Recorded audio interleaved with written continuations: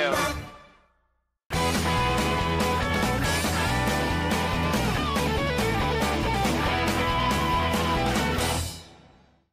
Hello, internet viewers. I'm the Fairly Odd Gamer. Ever since I started this channel last year, I always have an ambition to review as many licensed games as possible, and most of them are based on Disney movies. I know I've done mostly Disney games this year with the live action remakes and whatnot, but I'd like to go back to reviewing games based on the Pixar films this time. As for which one, you may ask? How about we talk about Cars? Cars, as mentioned before, is an animated film by Disney and Pixar. While it first premiered at Lowe's Motor Speedway, now known as Charlotte Motor Speedway, on May 26, 2006, it got a theatrical release 14 days later. I saw the movie twice in theaters.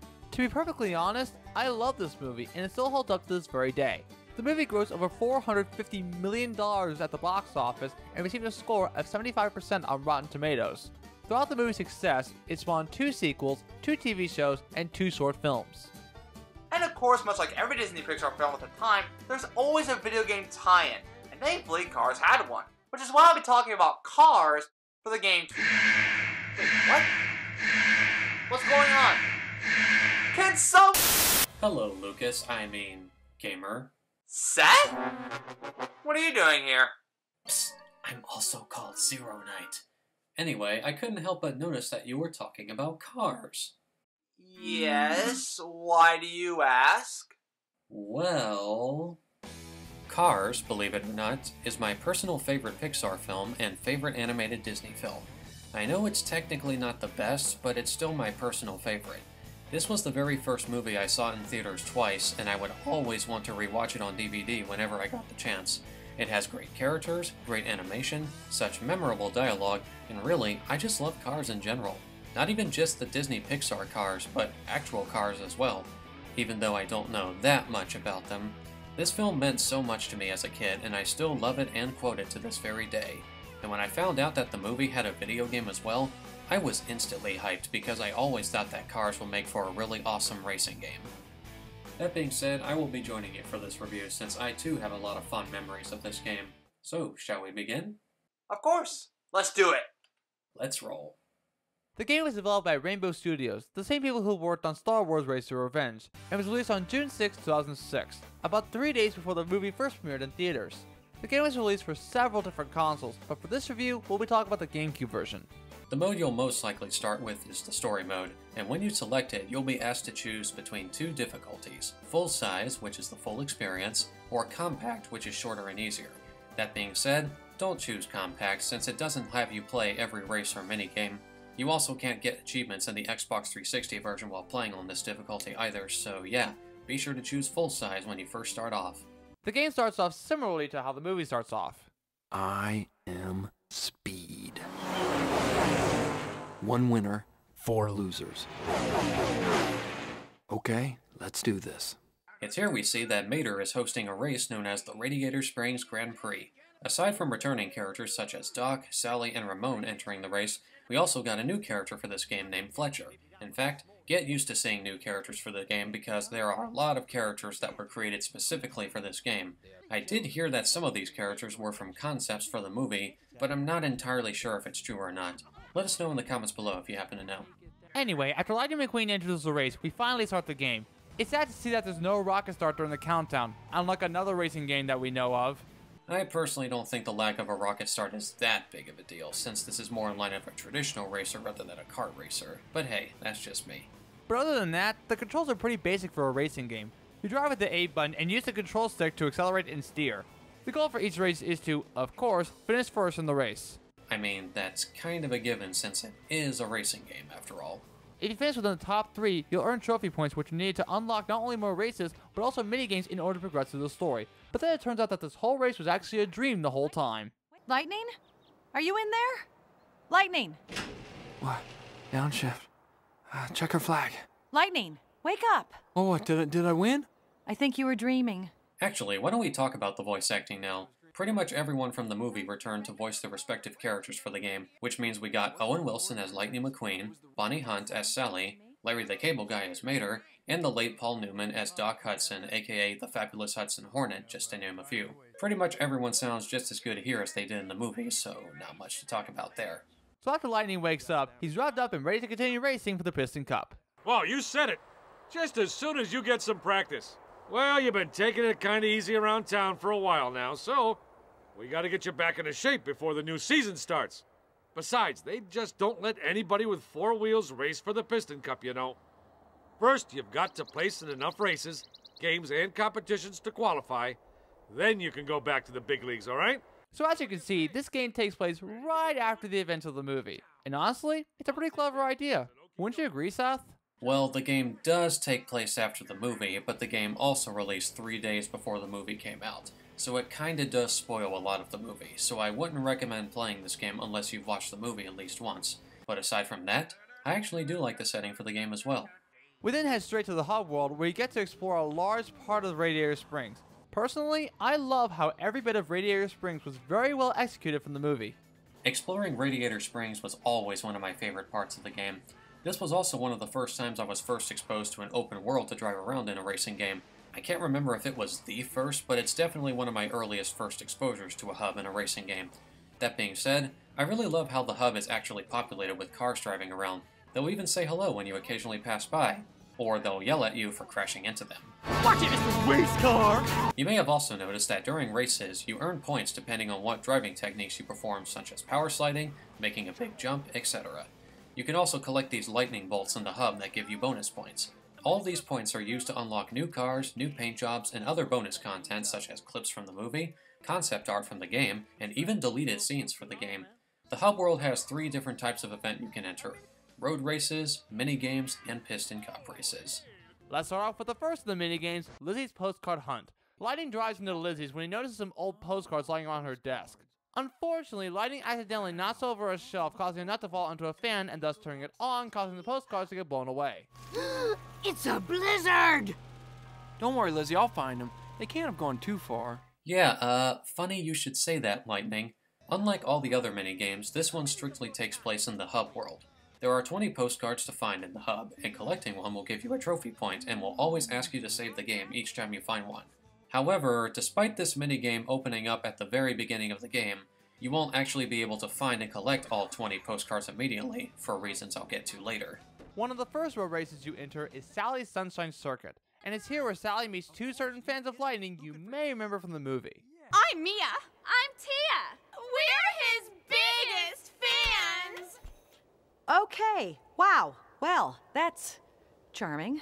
Mia and Tia want to go out for a drive with Lightning, so Sally challenges them to a three lap race, promising that the winner will get to take a drive with Lightning. Also, Flo decides to join the race simply because why not? Unlike the previous races, you actually get to race as Sally instead of Lightning, because some events have you playing as other characters. More on that later. Let's move on to a minigame based on a scene from the movie, Tractor Tipping. Only this time, it's Lightning who invites Mater to go tractor tipping with him. This is gonna be fun. The object is to, of course, tip all the tractors while they're sleeping, but be sure to avoid Frank as well as the searchlights around the field. There's a meter on the left that shows how angry Frank is. If it maxes out, well, He's gonna get you. There's also a time limit. If time runs out or if you get caught by Frank, you have to start the stage over. While I love this minigame as a whole, I just think it's a bit too dark, and I say that literally. There are times where you can't find the main tractors whether or not they've been tipped over. I personally feel like you have an issue with your TV's brightness, because I didn't really have that much trouble with finding the tractors at all. And don't you just love how Mater's horn sounds exactly like how it does in the movie? That is a nice touch, yeah. That being said, I personally think this minigame is just okay. I do like how you actually get to redo a famous scene from the movie, and the controls work well enough, but I feel like the physics can be a bit wonky at times, specifically when it comes to crossing these wagons. Also, this minigame is painfully annoying in the Wii version because you can't control the camera in that version, so it's very easy to get blindsided by Frank in that version. Good thing the other versions let you control the camera and thus making it easier to observe your surroundings. Moving on to the next minigame, Doc's Lesson Power Slide.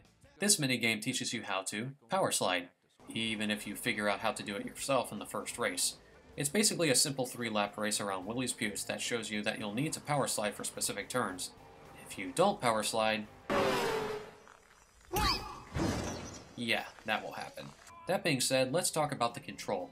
The cars do control pretty well for the most part, but the power sliding is where I feel like it can be a bit off. mainly because there are some turns I feel like you can't make without slowing down even when you power slide. It's especially apparent in the Sarge's boot camp minigame, but we'll get to that later. Personally, I think the game controls pretty well. But yeah, turning in this game can be a bit hectic, which is why I should advise you to power slide whenever you see a turn. Otherwise, you can potentially understeer and cause you to bump into a wall, and therefore cause you to slow down, especially when you're racing. My advice would be to use the brake or e-brake while you are power sliding. It will definitely help a lot with the tighter turns. Also, the crash physics can be a bit all over the place at times, though I'll admit it can also be pretty funny to look at. Moving on to the next road race, Doc's Challenge. It's just another race, only it's a one-on-one race between Lightning and Doc.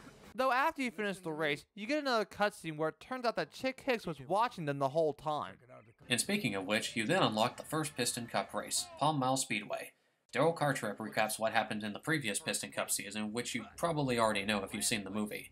As Lightning and Guido get ready for the race, they're greeted by Chick. Check it out. So, big deal. Well, you know, I just figured you might want to get acquainted with the view. you know what I mean? You know, because you're going to be spending a lot of time behind me. In the race. We're going to be in the race, and I'll be ahead of you, and you'll be behind me. In the race! Is it me? Is not, what are we not getting here? The Piston Cup races are unlike any other race in this game. Why is that? Because there's no power sliding in these races. All you have is lighting against 19 other cars, including Chick, in a 12 lap race. During these races, you also have a meter showing how much tire wear you have. When it reaches a certain point, you'll be asked to make a pit stop when you're close to the finish line. The pit stops are basically short, quick time events. Nothing bad, but nothing really that special. Although I do like the sound effects for Guido changing the tires. Once you finish the pit stop, you'll then have unlimited tire pressure for the rest of the race. I think the Piston Cup races are just okay. I don't think they're that bad to be perfectly honest. While you are stripped away from additional movesets such as power sliding, I think they're just typical racing levels. There are certain times where you can cheese your way to victory by off-roading yourself to reset your car further on the track, but that's not always guaranteed to work. I personally think the Piston Cup races are pretty meh, honestly. They're not terrible, but they're kind of boring in comparison to the road races. Like the gamer said earlier, you don't have as many moves or driving techniques as you would in the road races. And furthermore, these races tend to have some pretty bad rubber banding AI. Because there were a lot of times when I was in first, only for Chick Hicks or another car to suddenly pull ahead at ridiculous speed. Not only that, but even the NASCAR video games at least had some sort of drafting mechanic to give you some sort of boost to help you pull ahead. This game doesn't really have that, so it feels like you mostly rely on luck to pull ahead. Plus, these races constantly artificially populate the track with cars by purposefully having them overlapped just for the sake of having another obstacle to avoid. So yeah, not the worst, but I feel like these races could have been a lot better. Since we haven't mentioned it yet, I think now would be a good time to talk about the soundtrack. Personally, I love it. It has everything from rock, pop, and even country. While the game has some well-known songs such as Night Drive from the All American Rejects, White Knuckle Ride by Lynyrd Skynyrd, and Free Ride by the Edgar Winter Group, it also features original music by Bruno Coon, who is also the music editor for the film. I love the Radiator Springs music because it has a nice western feel to it that makes it feel more lively. And overall, the soundtrack is pretty good. I agree, I also really love the music for this game. While I do find it disappointing that the game didn't have any of the licensed songs from the movie, specifically Life is a Highway by Rascal Flatts and especially Real Gone by Sheryl Crow, seriously, those songs were my jam, I do agree that the selection we did get was quite excellent. And I also really love the original music composed by Bruno Coon, especially the themes of The Sheriff's Hot Pursuit, High Speed Heist, and Lightning Strikes Back minigames. We return to Radiator Springs with the next minigame, Luigi to the Rescue. Lightning informs Luigi that there are hubcaps and tires lying around Radiator Springs. Seeing how Luigi loves his tires, he decides to get the tires back himself. My poor tires, abandoned, alone, dirty. Luigi will go save them. This minigame is just a simple find and collect them all before time runs out minigame. Though you do have a radar to help you show where all the tires are, you also have to return to Luigi's Casa Della tires once you find them all. This minigame is just okay. The objective isn't really anything special, but this is the only time you ever get to play as Luigi, so yeah. Yeah, I do agree with you that it's a collectathon minigame. Having a radar helps you out when trying to find all the tires, not to mention there are also white arrows that highlight where each of the tires are. Overall, yeah, it's pretty okay. Also, is it just me, or does the music sound an awful lot like the pizza theme from Spider-Man 2? It certainly has a very similar melody, but it's not quite the exact same song. On to the next race, Boosted with Fillmore. and this is where we're introduced to a new mechanic. We start off with a cutscene where Fillmore lets McQueen try out a new special brew.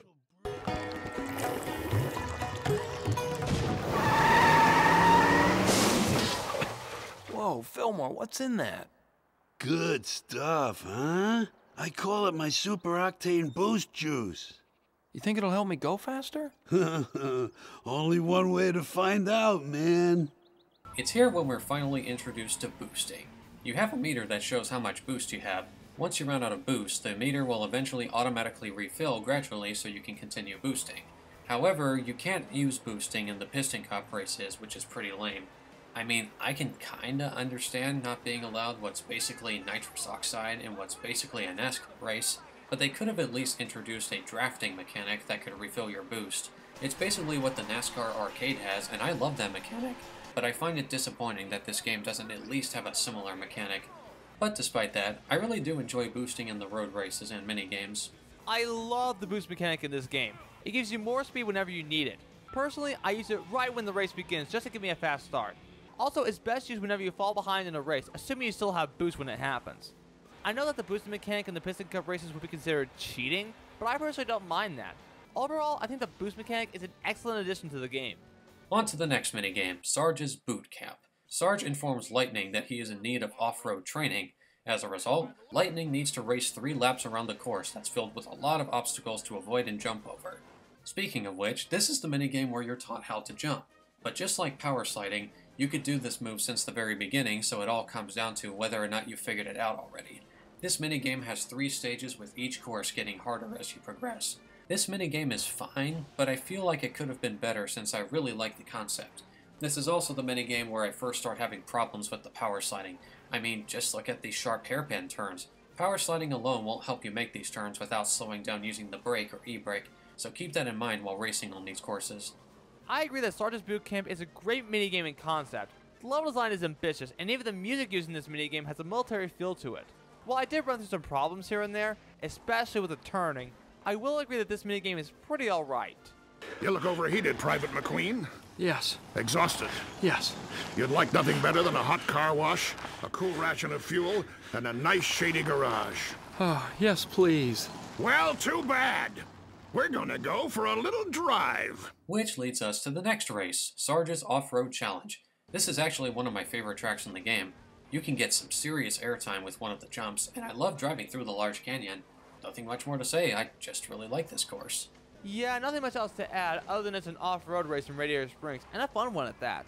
Moving on, we get to race on Motor City Speedway of the South. This is the exact same course from the beginning of the movie, and it's pretty much the same as every other Piston Cup race. I do like how we actually get to race on a track featured in the movie, but yeah, nothing else more to say. That being said, when you do finish the race, Radiator Springs will be set to nighttime, because depending on what events you finish, the Radiator Springs hub will be set either during the day or during the night. Moving on, we have another minigame that introduces yet another skill, Mater's Backwards Lesson. Lighting asks the world's best backwards driver himself, Mater, to teach him how to drive backwards. It's a two-lap race that requires you to start driving backwards whenever Mater does it as well. You can start driving backwards by quickly flipping Lightning around by double tapping the e-brake. It even works in the Piston Cup races, and you can pretty much do this. What? It's also worth mentioning that every time you get close to Mater, Lightning will automatically slow down to prevent you from passing him. Not a major issue, but I couldn't help but find it a bit distracting at times. On to the next race, Sheriff's Chase. When the Sheriff and Lightning start reminiscing about the time Lightning first made a mess in Radiator Springs, Lightning mentions that he was constantly slowed down during that first chase. So Sheriff's Chase has a challenge for another race. Wait a second. You're not gonna bust me for speeding and throw me into the impound afterwards, are you? No, sir. Not if you win. It's here where we're introduced to what's probably the longest track in the entire game. It's a one-lap race around Radiator Springs that also goes into Ornament Valley. It's a pretty cool course, nothing much else left to say. Although winning this race does have my favorite dialogue exchange in the entire game. Just what do you think you're doing, son? What? I thought all cops like donuts. Donuts! I love donuts! Get out of here! After the race, you'll then unlock Sheriff's Hot Pursuit. This minigame has you playing as a sheriff and chasing down three speeders for each round. But if you think this will also mean stopping the speeders by ramming into them, like in the Need for Speed series, well, you're probably going to be disappointed. Instead, you bust speeders by simply tailgating them until a meter runs out. and much like in Mater's backwards lesson, you'll automatically slow down if you get too close to the speeder you're chasing. This minigame is still fun, just not quite as fun as I was hoping it would be. Also, as I said earlier, the music for this minigame is really good, especially the guitar. Yeah, I actually like Sheriff's Hot Pursuit as well. Even though you have to be behind every speeder you chase, I think it's similar to what most cop chases are like. Plus, it can take place during the night or day depending on what time of day it is at that point of the game. Also, if you manage to lose track of any speeder you're currently chasing, then this happens. Maybe it's time to go see Doc again. Aside from Sheriff's Hot Pursuit, finishing Sheriff's Chase will also unlock a new hub world, Ornament Valley, and this is exactly why you can't finish Lizzie's postcard hunt as soon as you start it. Some of the postcards are hidden in not only Ornament Valley, but also Tailfin Pass, and you can't drive around those areas until you reach certain points in the story. But anyway, Ornament Valley is also where you can compete in the next race, the Rust Bucket Race-A-Rama. Let me guess. Demolition Derby.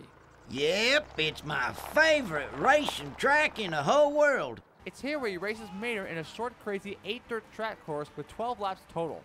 Yeah, we surprisingly have a race with 12 laps that isn't a Piston Cup race, so that's pretty neat. This race is fine, but the crash physics can also be pretty wonky in this race. I mean, it makes sense for this race to be that crazy, but yeah. It's also worth mentioning that once you win this race, Mater will give Lightning an extra boost tank and thus increasing the size of the boost meter. And now we have the next Piston Cup race, Sun Valley International Speedway. And I forgot to mention this earlier, but there's also an announcer you hear during every Piston Cup race, and you hear different voice clips from him depending on what character you're playing as. But seeing as this is story mode in which you only play as Lightning McQueen, expect to hear a lot of the same repeated voice clips for every one of these races. Fighting through the pack, it's number 95, Lightning McQueen. There's another one. McQueen's passing through the field like he's racing against golf cart. Is there any stopping is driving like the field is standing still. This is honestly my least favorite Piston Cup race. I mean, it looks nice, but I swear the rubber banding AI is at its worst during this race. Not to mention the turns can also be pretty annoying at times, but hey, that's just me. After winning the race, you then unlock the third and final hub, Tailfin Pass, and it's here we move on to the next road race, Sally's Wheelwell Sprint. Remember when Sally won her drive with Lightning in a race against Mia and Tia? Well, now we actually get to play that drive. Well, as Lightning anyway. Unlike the previous races, this one is a point-to-point race, which means there's a starting line and a finish line at separate locations from each other. That being said, Tailfin Pass is personally my favorite hub in the game. Not just because it's pretty, but also because it has a lot of alternate pathways and hidden areas to drive around. It's so much fun. That being said, what is your favorite of the three hubs, gamer? I feel like all three hubs do their job pretty well. Tailfin Pass is pretty to look at with the waterfall and even wheel well. And yes, there are little pathways to take for exploring around the area. Radiator Springs is a central location of the game, and I personally feel like it's the most memorable hub in the game. Ornament Valley is probably my least favorite hub world in this game. Don't get me wrong, it's not a bad hub by any means, it still does its job pretty well. It's just that it's personally my least favorite of the three hubs. And what's it like, you may ask? Well, in the words of Anakin Skywalker, It's coarse and rough and irritating. And it gets everywhere. Moving on, we have the next race, Delinquent Road Hazards. It's here where Lightning comes across the tuner cars who are blocking the road. Lightning then challenges them to a race, telling them to let him pass, as well as have Boost give him another boost tank if he wins. Actually, while we're still on the topic of the tuner cars, it's worth mentioning that Boost spoiler looks very different from how it appears in the movie. Unless you're playing the Xbox 360, PSP, or Wii versions in which it looks exactly like how it appears in the movie. Just thought I'd mention that. Anyway, it's pretty much yet another race, but this time it takes place in the mines for half of the race. Nothing else more to say other than that. Lightning wins, he gets another boost tank, and the tuner cars leave. Moving on, we have another road race, Monster Truck Mayhem. Lightning is challenged to a race by three monster trucks, so Luigi and Guido have Lightning souped up with big monster truck tires. And if I'm being completely honest, he looks ridiculous as a monster truck. I mean, just look at him. A tiny race car with big monster truck tires. Though I'll admit, it's also quite funny to look at. Oh yeah, you have the tires, but do you have the mental fortitude? We're about to find out. Let's do this! This race takes place at Rust Bucket, and it's pretty much a double oval track with a lot of jumps. This race is actually pretty fun despite the physics being a bit finicky at times. Overall, this race is quite a nice surprise despite being pretty much a filler race. And while we're on the topic of that, There were a couple of races we didn't mention mm-hmm. earlier, such as Radiator Cap Circuit, North Desert Dash, Ornament Valley Circuit, and Tailfin Pass Circuit. These races don't really have a huge bearing on the story and are pretty much filler races. They do feature new characters, but they all mainly serve the same purpose, to be new characters for Lightning to race against, and they don't really have much in personality.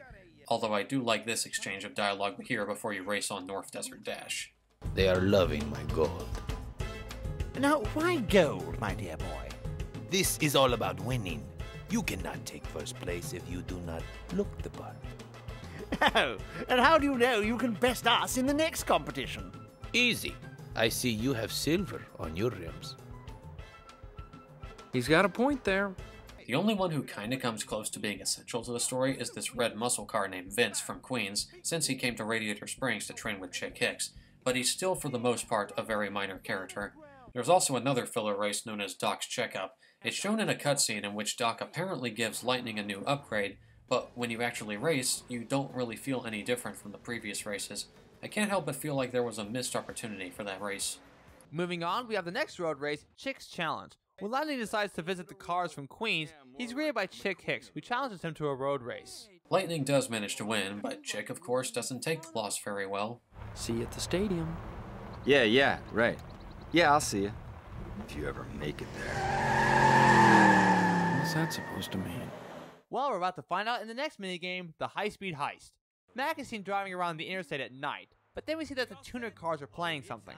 That being said, this minigame puts you in control of DJ, Boost, and Wingo in that order. Each of the three stages all have you chasing down Mac while avoiding traffic and then fulfilling a specific objective when you catch up to him. DJ simply has to pull ahead of Mac. Boost needs to use a ramp provided by Snotrod to jump on top of Mac, causing his trailer to open. And finally, Wingo needs to collect Lightning's gear falling out of Mac's trailer while also avoiding everything else that happens to fall out of him, since it will slow you down. In my opinion, High Speed Heist is not as bad as you think it is. While the DJ and boost sections are something that I'm okay with, I cannot stand Wingo section at all, especially when you're behind Mac. Not to mention there's also a time limit for each section of the minigame. But going back to Wingo, there's no telling what's going to come out of Mac's trailer, and you have to be at the right spot whenever the boxes come out. Otherwise you'll miss it and therefore making the section much harder than it needs to be. But besides that, I think it's an okay minigame. The High Speed Heist is personally my favorite minigame in the game mainly because it's the only time in the entire game when you ever get to play as DJ and Boost. More on that later. As for Wingo's section, I personally feel like you just need good enough reflexes to react to what's gonna fall out of Mac's trailer. If you have that, then this minigame really isn't much trouble at all. Also, as I said earlier, the music is pretty fantastic, so yeah. So after the tuner cars rob Mac, we then unlock the next minigame, Lightning Strikes Back. Sheriff informs Lightning of Mac getting robbed by the tuner cars, and let's just say that Lightning doesn't take it very well. That's it. You can mess with me, but you don't mess with my friends.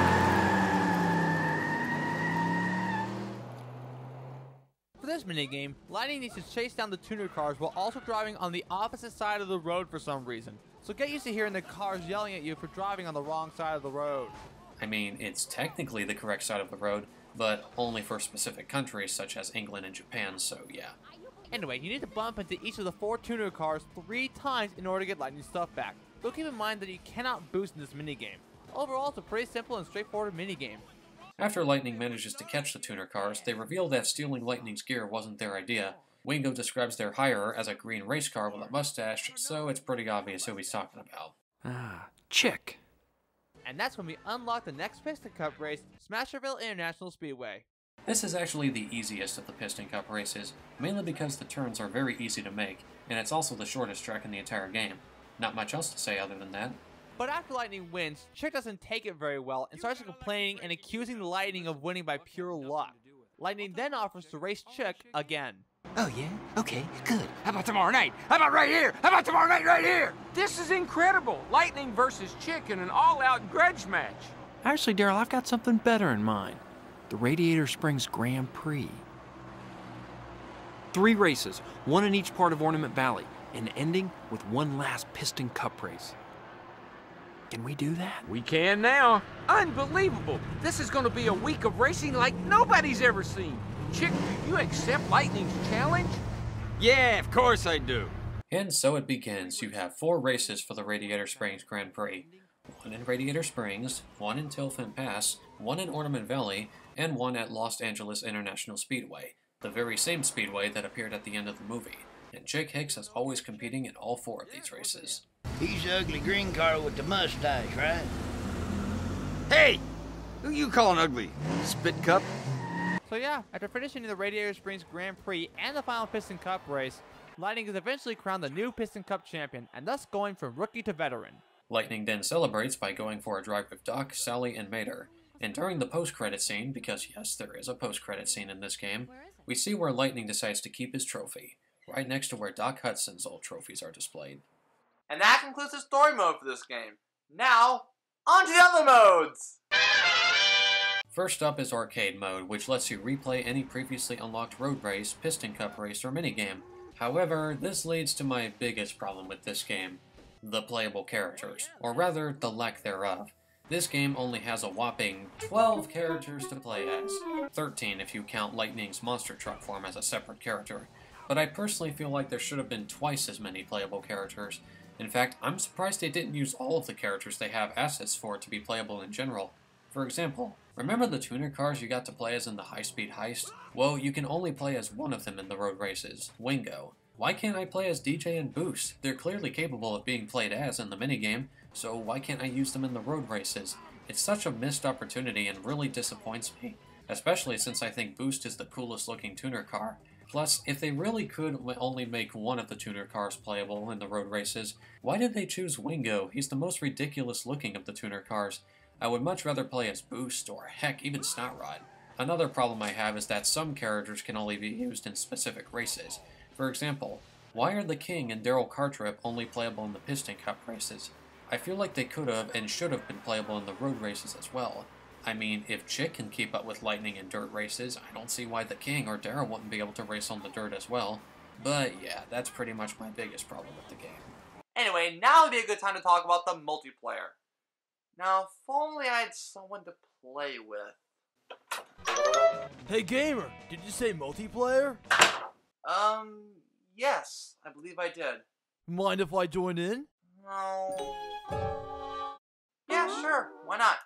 Awesome, dude! The multiplayer mode doesn't have much change except for a split screen for each race or minigame. However, there is one minigame that is specifically available in this mode.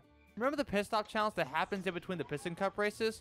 Well, it turns out there is a minigame exclusive to multiplayer that challenges you to see who can do more pit stops than their opponent before time runs out. It's also worth mentioning that while playing multiplayer mode, you can't play every road race or minigame. You only have access to a specific number of road races and minigames to play, which is pretty disappointing. Oh man, I was really hoping to play Sally's Wheel Well Sprint with you, gamer. Well, Hux, that's what the game developers decided. Makes sense, I guess. Anyway, later, dude! So, gamer, what did you think of Cars, the video game? Well, Seth, as a whole, this game's actually pretty fun. It has everything needed for a licensed game, especially one that has racing elements. Graphically, it looks incredible as if each element was taken from the movie. Everything from the characters, levels, and even the hub worlds look like the film. When it comes to gameplay, it works pretty well despite the issues I had with turning. Not to mention that the Piston Cup races feel repetitive to me. I love the power slide and boost mechanics in this game. While it would have been better to have these elements used for the Piston Cup races, I think it would be considered cheating in my opinion. If you're a Disney fan who loved the movie as a kid and would run a race against his or her friends, then this is the game for you. Cars, the video game, is quite impressive for a licensed game. Most of the racing is fun, the graphics are pretty nice, exploring Radiator Springs, Ornament Valley, and especially Tailfin Pass was always a joy for me to do, and I've always admired just how much personality this game has. However, I won't lie, while I loved this game as a kid, it certainly has aged over time. While the road races are easily the best part of the game, the mini games are just kind of okay, and the Piston Cup races are pretty bland. And again, I find the playable character roster to be pretty lacking. It's also worth mentioning that this game is very easy. Nothing that really bothers me personally, but I know that it may or may not bother some other people. But despite those issues, I still enjoy going back to this game every now and then, usually when I'm feeling nostalgic. It's not the best racing game out there, but I still enjoyed my time with it. I would actually like to see this game get remastered for current generation consoles that not only sport better graphics, but also a much larger playable roster. I know it's unlikely for it to happen, but hey, a guy can dream. If you love or likes the movie, consider checking out the game as well. I give this game a 7 out of 10. So overall, this is pretty good. I'm the Fairly Odd Gamer, and I wish you all good luck the rest of your day or night, wherever you... Hold up, gamer. We're not done yet. Wait, we're not? Nope. We still have to talk about the handheld versions of this game. Oh. Well, okay. Sure thing.